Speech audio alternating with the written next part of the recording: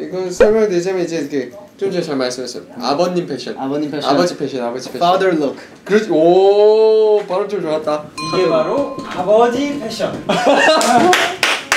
father. 별표 하나 쳐주세요. 별표. 이게 아주 중요한 거 시험에 나오는. Hey son. Hey moon. 아버지가 부르면 어 예 아버지 하고 와야지 너 your daughter. 아버지가 오게 만들어 그래서 아. 이걸 이렇게 하다 보면 이제 어머니들이 서운하시죠. 당연하죠. 어머니도 써주셔야 돼요. 오케이 네. 별님 같은 아버지 뭔가 되게 네. 좋은 것 같아요. 별님 같은 아버지 노래 하나 써요. 어, 별님 같은 아버지요? 네. 별님 야, 같은 아버지. 별님 같은 아버지, 햇님 같은 어머니. 응 팬님 같은 아버지 오, 괜찮은데? 오 우리 부모님 송 나오나요 부모님 송? 야, 우리 하나 써서 우리 부모님들께 선물해 드릴까?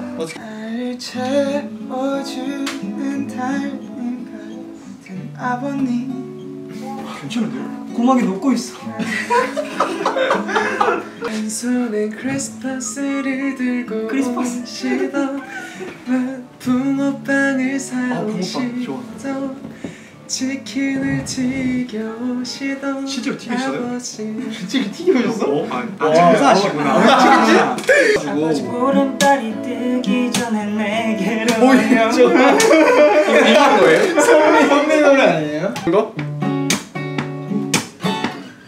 울지마 아들 왜 자꾸 찡찡거려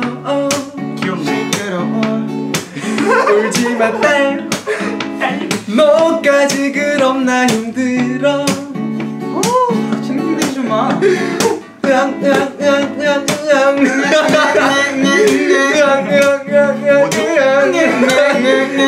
아들 딸 제발 울지 좀마 네.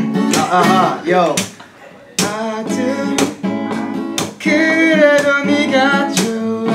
어, 훈훈했어.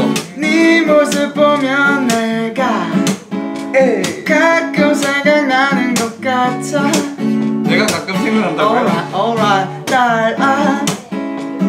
괜한 남자 만나지 마